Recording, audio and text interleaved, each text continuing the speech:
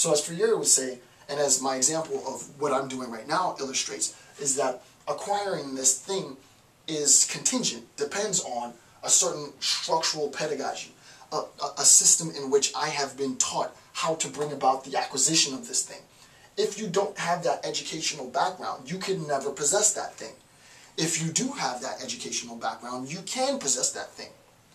Where two people have similar educational backgrounds, now we can talk about fair competition.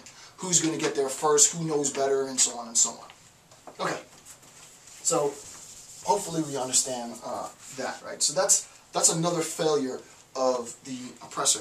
The oppressor fails as, as um, fails in their attempt to humanize. They, they will never attempt to humanize because they specifically deny educational access um, to, to, um, to those who are oppressed simply because they recognize that insofar as they acquire this, this know-how, there's going to be competition over um, resources.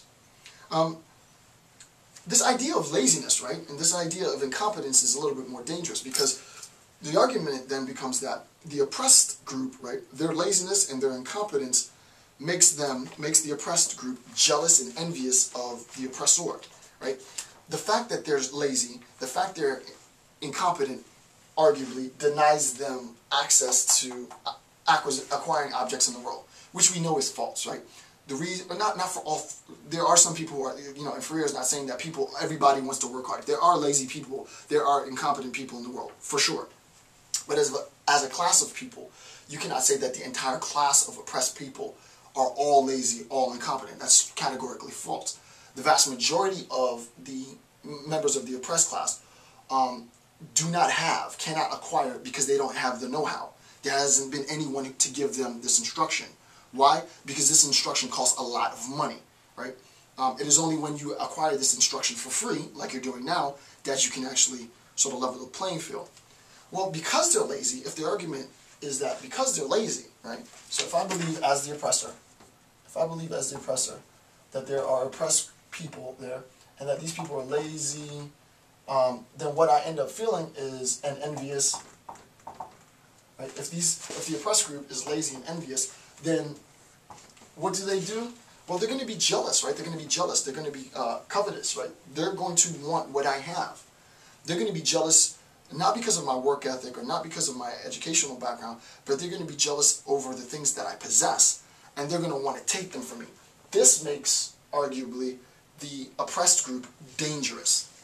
So what we have on two levels now, one, we have the oppression of those who are oppressed, right? Because they've been denied educational access, educational accessibility, right? They don't believe that education is important, or they're told that education is important. And on a quick side note, this is this is um, this is categorically true in a contemporary setting. In the hip hop community, uh, especially black males, young black males have, have been taught since I've been alive, right? So for the last uh, 30 plus years, that you know, if you if you talk the way I talk and you're black and you're educated the way that I am because you're black, then you're a sellout, right? That, that you're trying to act white or you're trying to talk white. So that normative whiteness becomes, this idea of whiteness becomes um, relegated to just people who can, just people who are white can talk the way that I talk. Just people who are white can have the education that I have, which is categorically false because I talk the way that I talk and have the education that I have, and I'm not white, right? Nor do I want to be white. The point is, is that we have to, as members of our own community, members of the oppressed group, have to recognize that you're not selling out when you do what I do, right?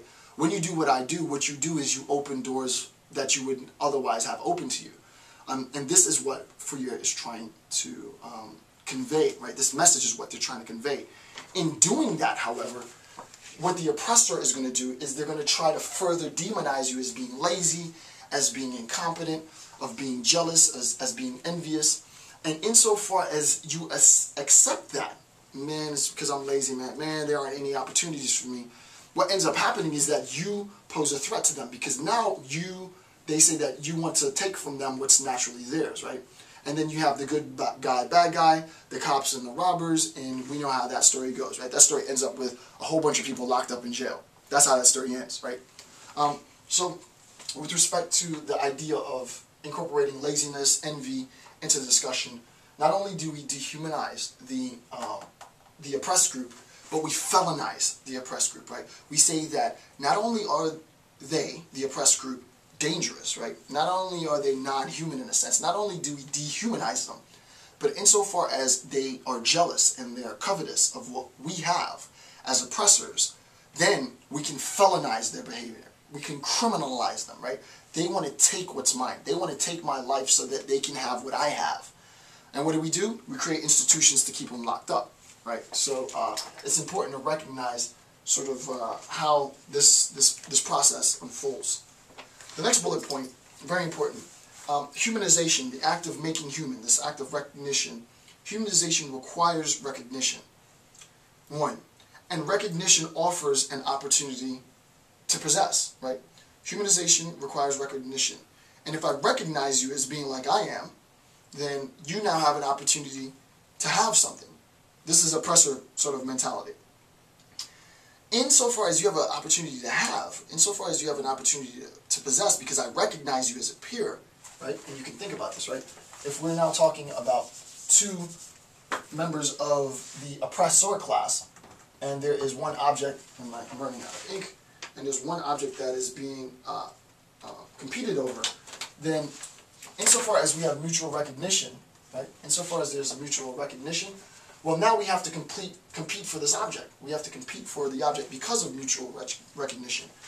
If you are an oppressed person and you are attempting to liberate yourself from oppression so that I recognize you, now there's another person to compete for this object, and I don't want to have to compete for that object.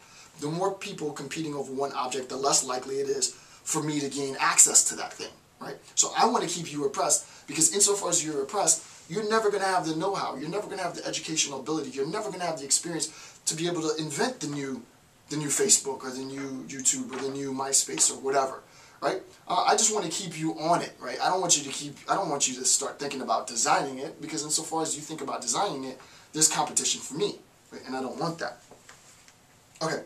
Um, thus, the process of humanization, this liberation, this freedom, threatens material oppression, right? This is false, but this is the ideology of the oppressor.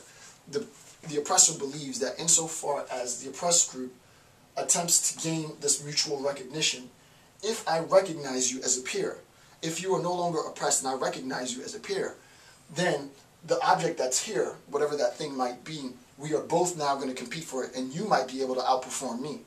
Insofar as you are able potentially to outperform me, then you could get the object and I might not get the object and I don't want that. So I'm going to keep you oppressed.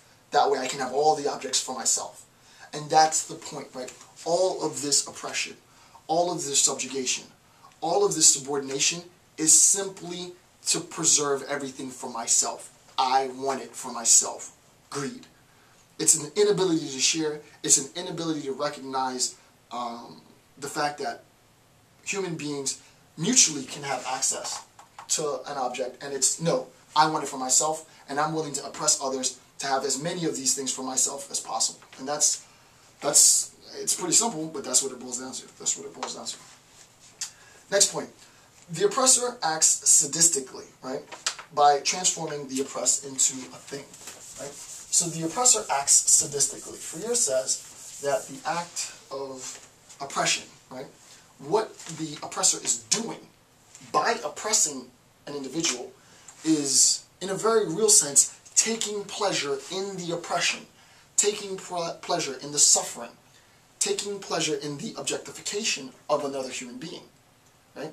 The whole reason that pleasure is had from this relationship is that insofar as as as they're fighting over foolishness, right? Insofar as um, insofar as um, I've demonized this population, well, look at all that I've gained. I've gained so much from oppressing them, right?